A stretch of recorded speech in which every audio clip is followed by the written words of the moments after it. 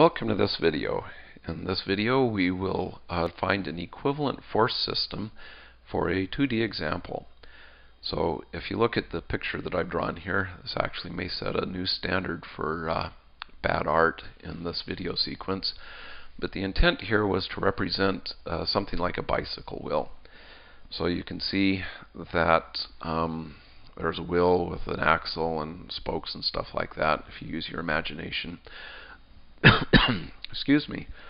And uh, pressing on the center of the wheel, uh, presumably at the axle, there is this force FB,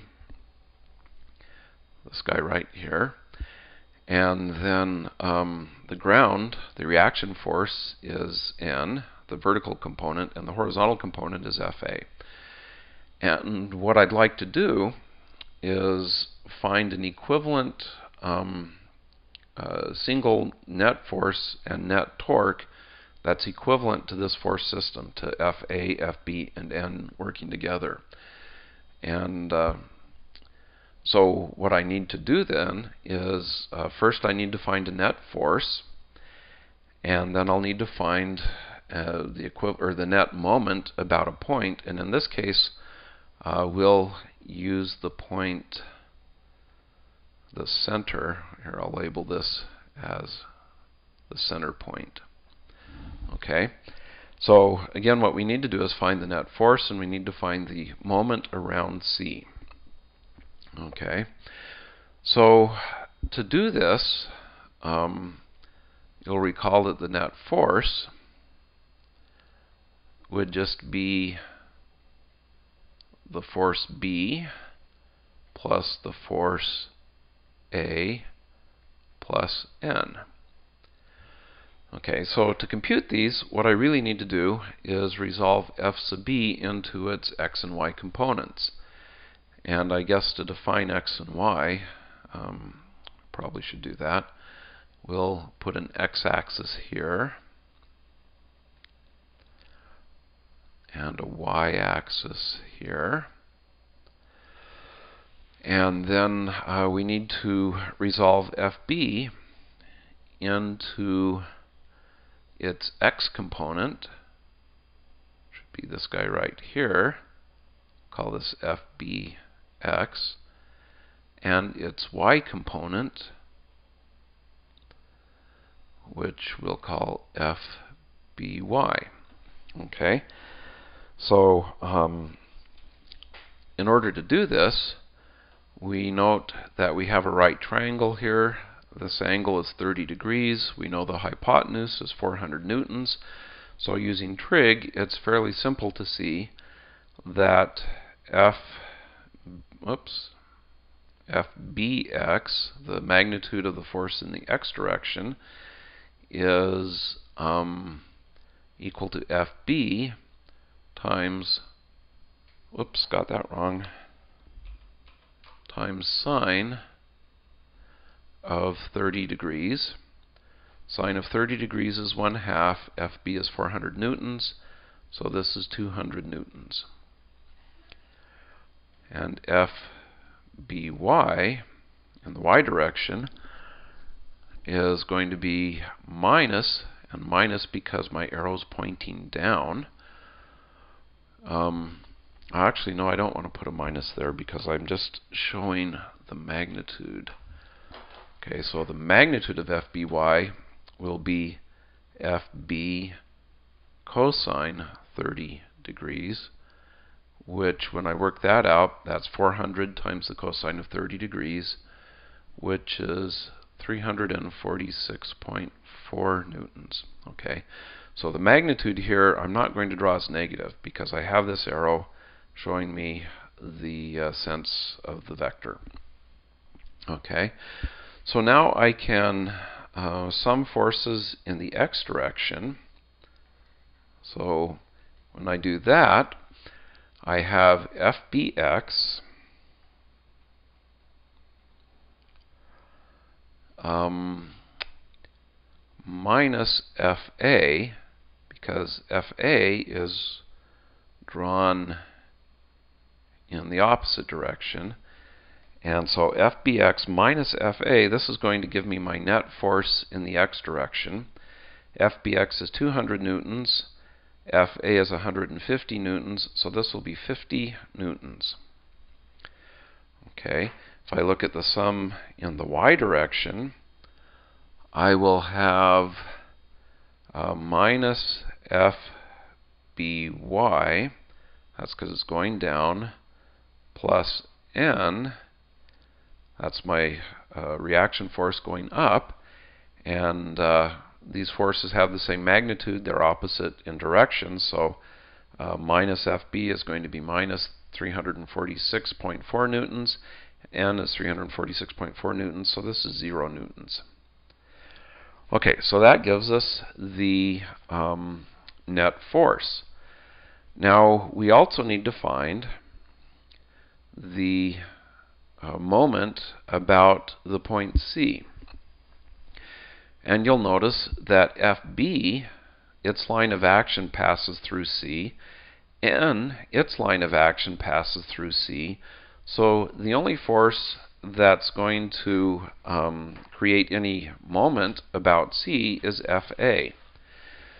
So um, if I look at this, FA has a magnitude of 150 newtons. It's operating on a lever arm of 0.35 meters. That's the radius of the wheel. And so we can say then that the uh, moment is going to be um, negative 150 newtons times 0.35 meters, which gives me negative 52.5 newton meters. Okay, and this negative sign indicates that my moment is clockwise.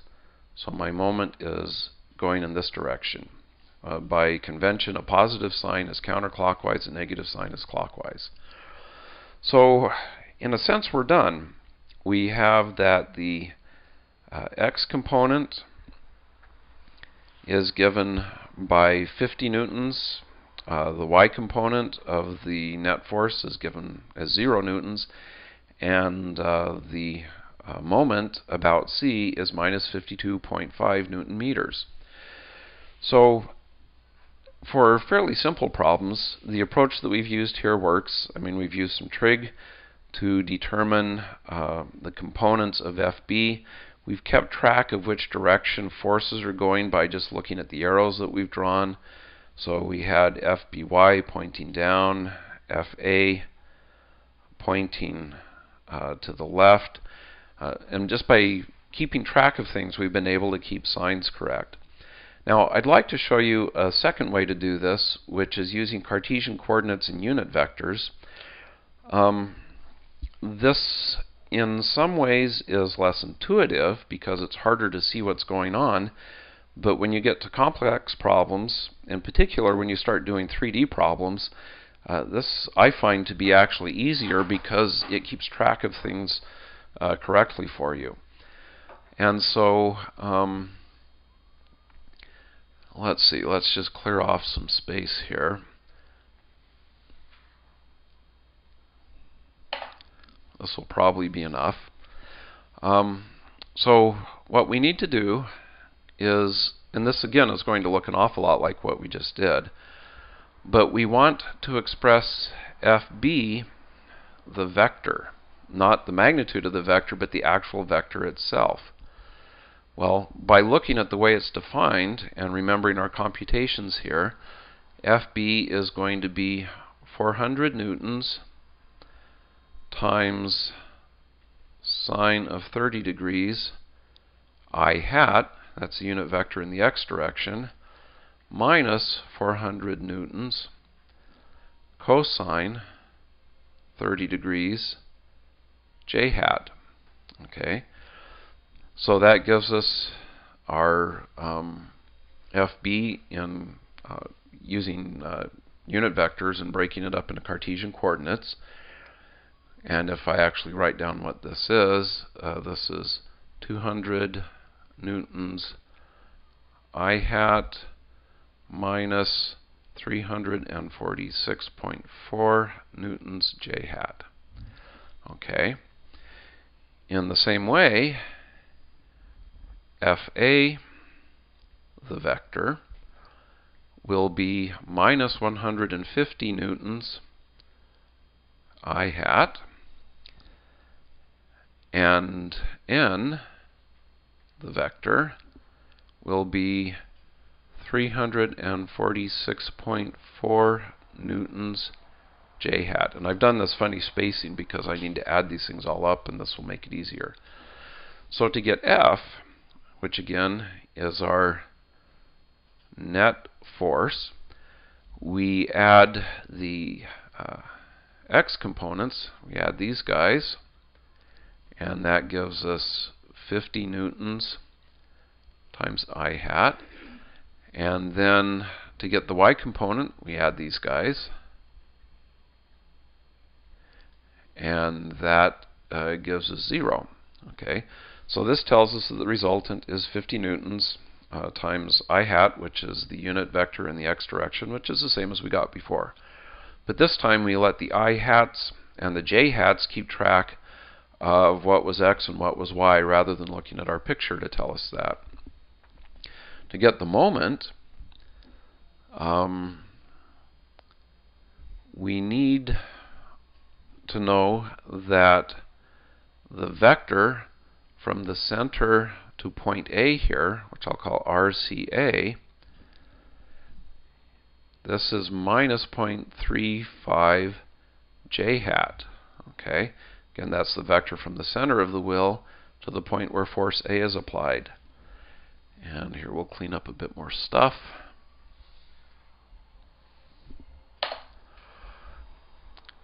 And we can get then that the moment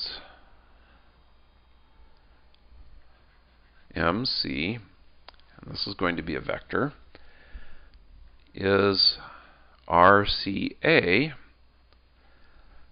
cross FA.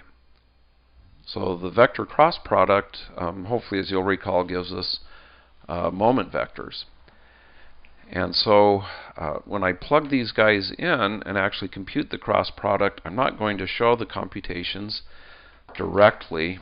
I will show one cool thing you can do with Wolfram Alpha. If I put in these vectors, so RCA has an x component of 0, a y component of minus 0.35, and a z component of 0, cross FA, which has an x component of 100 and minus 150 newtons, and the other two components are 0. Whoops, and I think I got this, so now I'm making a big mess of it. Let's see if it gets this right.